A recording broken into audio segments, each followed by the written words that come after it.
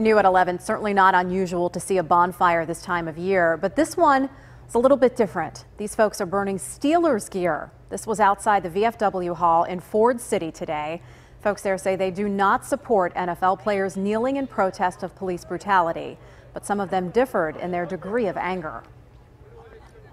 We will stand with anybody for freedom, justice, and uh, equality but we will kneel with nobody to disgrace the flag.